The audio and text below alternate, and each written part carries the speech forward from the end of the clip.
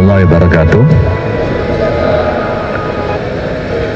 Dalam rangka syiar Ramadan 1441 Hijriah, UIN Maulana Malik Ibrahim mengadakan diskusi rutin. Kali ini kita akan mendiskusikan Al-Quran, seni, dan sastra. Hadir empat narasumber dari UIN Maulana Malik Ibrahim. Silakan. Oke. Saya Sutaman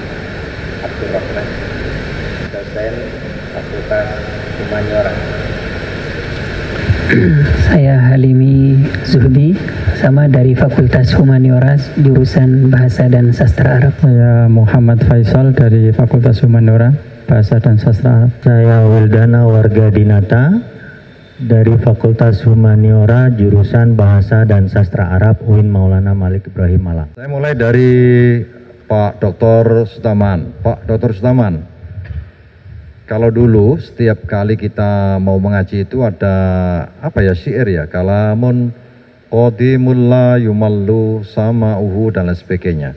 Itu mengisyaratkan bahwa Al-Quran itu dalam kalamullah.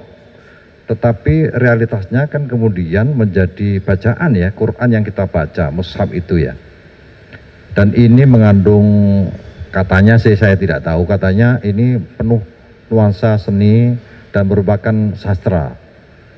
Apa betul begitu bahwa Al-Quran itu adalah semacam apa ya, mengandung seni gitu?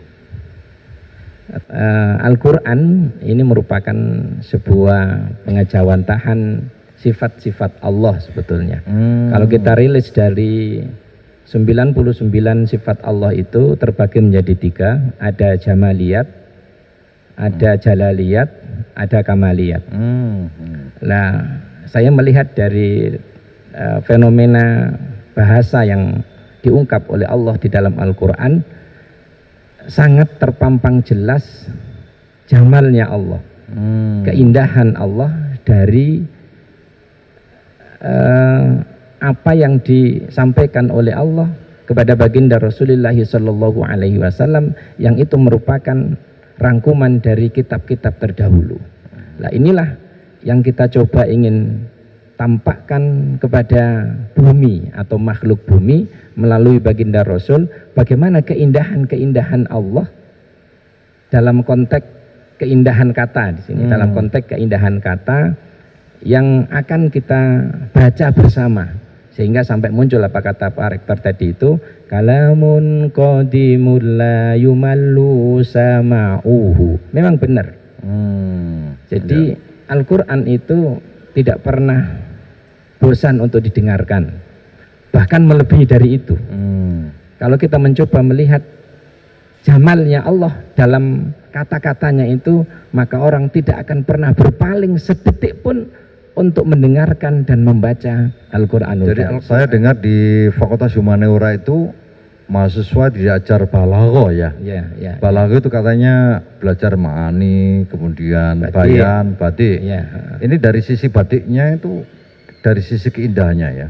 Eh, kalau kita belajar balaghah sebetulnya kullu minal mawad al balaghiyah Hmm. itu keindahan, keindahan dalam bayan, keindahan dalam ma'ani, keindahan dalam susunan kata atau Oh, usulnya. luar biasa. Kalau gitu saya teruskan ke Pak Halimi. Tadi diuraikan oleh Pak Dr. Sutaman. Ternyata Al-Quran itu penuh dengan keindahan. Nah saya teruskan lagi.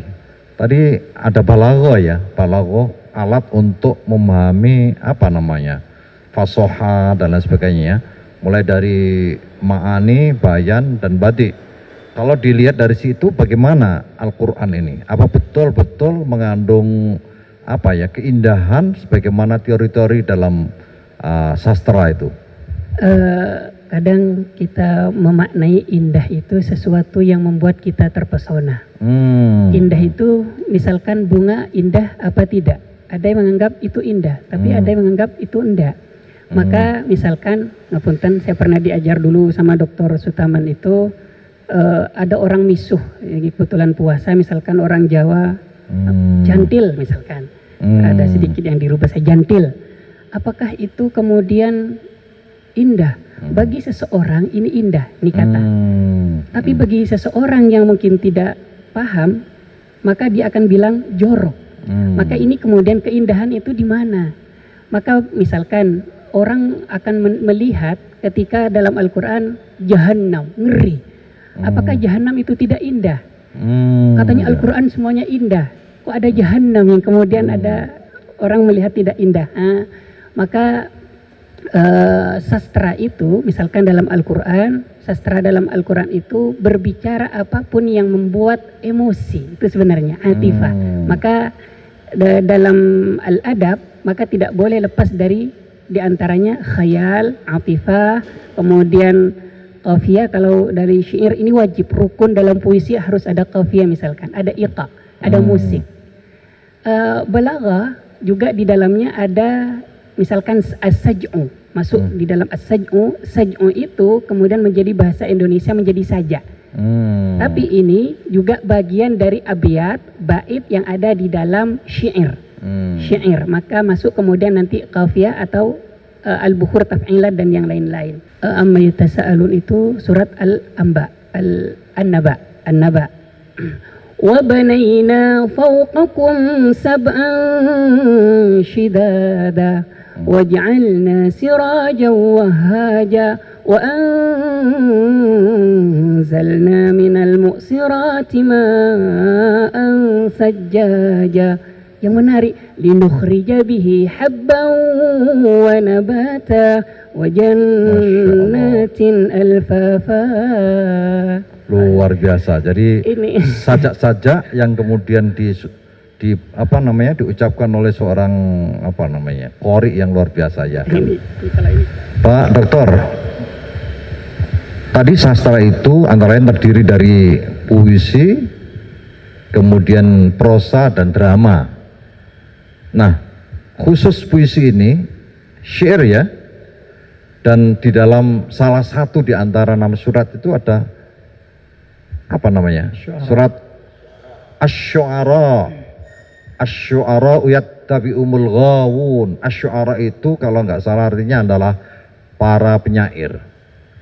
Ini kira-kira maksudnya apa kira-kira? Apa Tuhan memang sengaja untuk membuat Al-Quran ini seindah mungkin ya, baik dari bahasanya maupun dari isinya. Terima kasih. Eh, ada satu ilustrasi yang menarik kalau kita membaca kitab As-Sirah An-Nabawiyah Hmm. yang ditulis oleh Ibnu Hisham. Hmm. Di situ ada satu cerita bahwa Tufail bin Amr Ad-Duaisi itu seorang penyair, seorang apa ahli ahli sastrawan Arab yang sangat terpandang. Dia ketika datang ke Mekah, Tufail ini dilapori oleh orang-orang Quraisy. Tufail, Ya. ini ada orang namanya Muhammad, dia berdakwah begini, begini, begini, dia mengaku punya wahyu begini, begini, bacaannya seperti ini. Akhirnya penasaran, Tufail ini temukan saya dengan Muhammad. Akhirnya ditemukan dengan Nabi Muhammad sama petinggi Quraisy, kemudian dibaca. Terus Tufail ini tanya kepada Nabi Muhammad, benar kamu begini, begini, begini. Akhirnya Rasul membacakan Al-Quran. Hmm. Apa reaksi dia? Reaksi Tufal itu dalam riwayat itu dikatakan begini, fala. Tidak. Wallahi ma sami'tu qattun qaulan ahsanu minhu. Tidak. Demi Allah, demi Tuhan, saya tidak pernah mendengar sebelumnya Hmm. kalimat atau kata yang lebih indah dari yang dibacakan oleh Muhammad. Spontan, Tufal ini kemudian masuk Islam. Hmm, Masya Allah. Cerita seperti ini bukan hanya satu dua. Hmm, Kalau kita ya. membaca kitab Asyirah Nabawi Ibnu Hisham itu banyak sekali. Ya, Artinya bahwa kemudian sebetulnya Al-Quran itu memang memiliki kandungan sastra. Hmm. Atau kata bahasanya para pakar modern itu akademis itu Quran adalah kitab sastra berbahasa Arab yang teragung. Hmm, ya. Nah dari sini kemudian Adonis itu seorang sastrawan yang sekarang itu hijrah ke Prancis kalau tidak salah sastra modern dia pernah menulis satu buku Anas Al-Qur'ani wa Afakul Kitabah jadi teks Quran dan cakrawala literasi di situ dia menulis begini Quran itu kalau digambarkan menurut menurut dia adalah yaktubu ad-dina biluhotin syi'riyatin adabiyatin wa yaktubu ad-dunya biluhotin diniyatin. Jadi Hmm. Quran itu sangat sederhana. Dia men- menuliskan agama dengan bahasa sastrawi dan dan membahasakan persoalan dunia dengan bahasa agama. Hmm. Kesimpulan terakhir, Adonis mengatakan, kalau memang dilihat dari aspek kesastraan, memang ada hubungannya Al-Quran dengan tradisi sastra itu. Luar biasa. Saya teruskan ke Pak Dokter. Ya, Pak Pak Rektor. Dokter, Ya, Pak tadi Rektor. telah diuraikan bahwa ternyata memang Al-Quran itu apa mengandung keindahan dan banyak yang mengakui orang Muslim sendiri maupun non Muslim bahwa memang apa ya dianggap karya seni. Betul, Pak Rektor. Apakah ini apa ya kontekstual pada zaman itu bahkan sampai Betul, sekarang? betul Pak Rektor. Jadi ketika sebuah wahyu itu diturunkan Pak Rektor, Hmm. maka wahyu itu harus diturunkan pada situasi yang tepat. Hmm. Nah, bangsa Arab waktu itu yang mendapatkan karunia Tuhan untuk diturunkan Al-Quran kepadanya, waktu itu tidak memiliki kelebihan apa pun. Hmm. Karena beliau itu, oh, bangsa Arab itu berada di wilayah yang yang the lost word, wilayah yang, ti- yang tidak berperadaban. Hmm. Tetapi mereka modalnya satu, bahwa bangsa Arab itu punya sensitivitas sastra yang luar biasa. Hmm. Jadi orang susah sering kali menonjol perasaannya ya. Iya. Karena itu Al-Quran itu turun di tempat yang orang punya sen sastra tinggi. Hmm. Di mana? Di Arab itu. Nah, kalau ini diturunkan di tempat yang tidak punya sen, maka dia tidak akan merasakan kehebatan karya sastra itu. Ya. Nah, Al-Quran ini tadi Pak Rektor bertanya, apakah itu masuk puisi atau prosa? Enggak, ya. ya. Nah, Al-Quran itu bukan puisi. Karena Hmm. dia tidak mengikuti konun atau bahar-bahar puisi Hmm. uh, uh, asyar, syuara al-Arab. Ya. Tetapi dia itu lebih kepada prosa. Hmm. Prosa kebalikan dari puisi, tidak terikat. Hmm. Tetapi Al-Quran ini prosa tetapi dia punya sajak. Al-Quran ini menurut saya memang eh, memiliki nilai-nilai yang, yang luar biasa. Tadi sudah diceritakan oleh Pak Dr. Faisal, pembesar suarok jahiliyah itu, itu sampai nggak tahan gitu. Artinya bahasanya itu sampai ngeblak begitu turun Hmm. ayat-ayat Al-Quran. Ada penyair Sampai- sampai jahiliyah. KO ya. Iya. Penyair jahiliyah itu namanya Lubaid. Lubaid bin Rabi'ah. Itu beliau adalah penyair yang umurnya panjang, 145. Beliau adalah syairul mu'allakot. Hmm. Jadi penyair jahiliyah itu zaman dulu itu ada namanya suku ukat, pasar sastra ya. di mana mereka berlomba-lomba berpuisi. Nah, puisi yang terbaik pada saat itu itu akan ditempel di dinding Ka'bah. Ya, ya. Nah, puisinya Lubet ini ditempel di dinding Ka'bah. Ya. Tapi suatu saat tiba-tiba ada ayat-ayat Al-Quran ditempelkan di sampingnya itu dan gara-gara itu Lubet ma ma ma aku syi'ron ba'da. Hmm. Jadi katanya Lubet itu la aku ma kuntu li aku la syi'ron ba'da an alamanillah al imran ah, al baqarah wa ali imran. Terima kasih Pak Dokter. Jadi ternyata eh, Al-Quran itu memang apa ya sangat kontekstual dalam konteks masa diturunkannya. Bahkan tadi ada kesimpulan yang sementara saya kira saya setuju bahwa seorang penyair itu biasanya umurnya panjang sampai 1140 ya. Baik Pak Dokter Sutaman, tadi telah diuraikan semua yang terkait dengan relasi antara Al-Quran, seni dan sastra. Dan sastra ini mengandung apa? Puisi apa tadi? Prosa dan ini. Dan telah, telah diuraikan dengan lebar panjang panjang lebar ya. Nah sekarang begini. Kalau begitu ini namanya masuk ke mana sebetulnya? Kalau dalam misalnya ya kalau kita beriman tapi bagi orang-orang yang tidak beriman ini kalau ini karya sastra ini masuk ke mana ini? Tadi prosa enggak? Ya, syair enggak atau puisi enggak? Mungkin drama enggak? Atau semuanya masuk di situ? Saya kagum begini ya. Misalnya surah yang pendek, Kul wallahu ahad, Allahu samad, lam yalid walam yulad walam yakul lahu kufuwan ahad. Akhir dari ayat ini semuanya apa? Pakai ya sajak bersajak ini. Nah ini gimana ini menurut Pak Dokter? Ya, terima kasih Pak Rektor. Eh, kalau kita melihat teks jamalnya Quran, yang itu representatif jamaliyah ya Allah, maka kita akan eh, akan kita lihat bahwa di dalam Al-Quran itu terdapat sastra, ada drama, ada puisi, ada prosa. Kita lihat satu, karena ciri sastra itu satu khoyal, dua atifah, tiga uslub, empat makna. Ini ada semua. Jika kita lihat ilustrasi Quran terkait dengan bagaimana seorang yang tidak beriman dimasukkan ke neraka Allah. Hmm. Itu berbeda jauh ketika ilustrasi khoyaliyahnya orang yang beriman dimasukkan oleh Allah kepada surga. Coba kita baca Az-Zumar misalkan. وسيق الذين كفروا إلى جهنم زمرا حتى إذا جاءوها فتحت أبوابها وقال لهم خزنتها ألم يأتكم رسل منكم يتلون عليكم آيات ربكم وينذرونكم لقاء يومكم هذا؟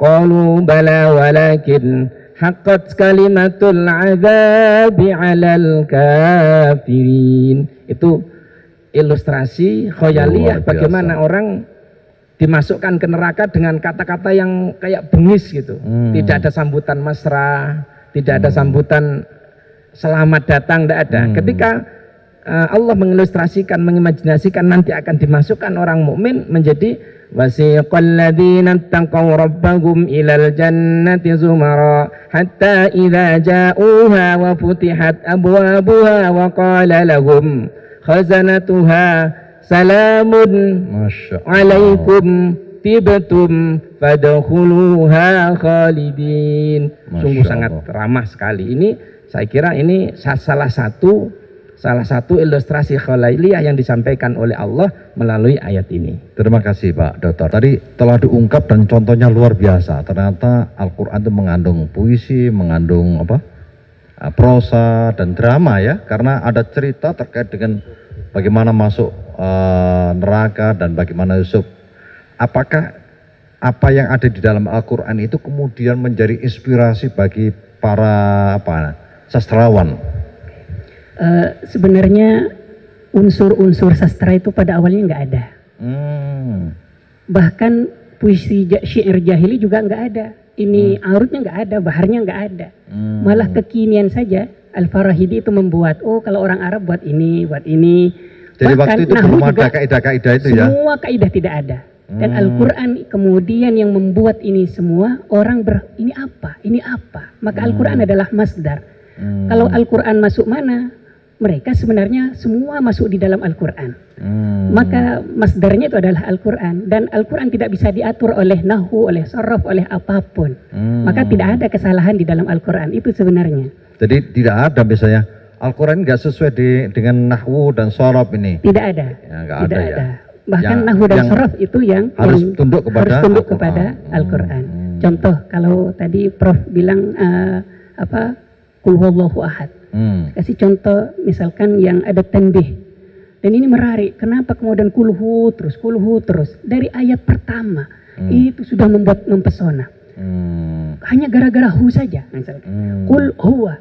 Ini seharusnya domir kembali ke depan atau ke belakang. Kalau Hmm. kata ganti, seharusnya kembali ke ke depan. Loh depan ini mana? Uang depan tuh kul. Hmm. Ini sesuatu yang sudah menarik. Kita ganti dulu ke Oke. Pak Dr. Faisal. Pak Dokter mungkin bisa pulkan apa sesungguhnya uh, Al-Quran yang paling pokok kira-kira. Al-Jahid dalam bukunya Al-Bayan wa Tabyin itu menjelaskan ada beberapa faktor yang menjadikan Al-Quran itu indah. Yang pertama adalah tolakotul lisan, jadi bahasanya renyah, Hmm. tidak bulat. Ya, ya. Kemudian ada ikhtiarul lafad, pemilihan diksinya itu pas. Ya, ya. Kemudian ada lagi yang disebut dengan kasful makna. Kasful makna ini kalau kita tarik pada ilmu modern itu adalah semantik. Hmm. Jadi secara semantik itu Quran itu ya, ya kaya, kaya makna, singkat, padat, lugas, semuanya lah. jawamiul kalim kalau Hmm. bahasanya orang-orang kalim apa orang-orang salaf. Terima kasih. Pak Dr. Wildana, Ya Pak Rektor. Apa kira-kira yang eh, Bapak katakan terkait dengan keindahan Al-Quran ini? Iya. Jadi Al-Qur'an ini seperti yang sudah disampaikan oleh Pak Dr. Faisal itu memiliki struktur pemilihan diksi, susunan itu tidak sama dengan yang ada. Jadi kalau kita membaca puisi-puisi Arab, membaca buku-buku Arab, membaca eh, apa itu membaca prosa, membaca kisah, bahkan hadis, bahasanya itu berbeda. Hmm. Nah inilah kalau orang awam, orang yang tidak sensitif, dia tidak merasakan. Hmm. Tapi kalau orang Arab, orang yang memang punya sense sastra yang tinggi, kalau Pak Rektor atau kita semua melihat di TV, sering kali dalam pengajian atau ketika ada pembacaan Al-Quran, orang-orang Arab itu saking kagumnya, itu sampai terungkap Allah, Allah, Allah gitu ya, sampai berdiri. Karena apa? Karena merasakan keagungan dan keindahannya itu. Hmm. Tetapi kalau di Indonesia kan enggak, yang ditiru yang ditiru itu adalah caranya melakukan. Jadi orang Cina, Allah, Allah, Allah, Allah, ya gitu aja. Tapi mereka tidak merasakan. Hmm. Jadi keindahan ini memang subjektif, subjektif. Jadi Al-Quran itu menurut Abdullah bin Daros itu adalah bagaikan intan, Pak Rektor. Keindahannya itu seperti intan, dilihat dari sisi mana pun, itu ada keindahan. Keindahan dari satu sisi berbeda dari sisi yang lain. Itulah keindahan Terima kasih. Pak Dokter.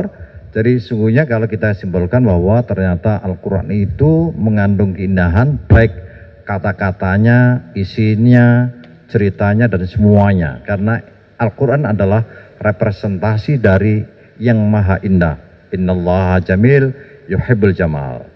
Terima kasih dan saya akhiri. Assalamualaikum warahmatullahi wabarakatuh.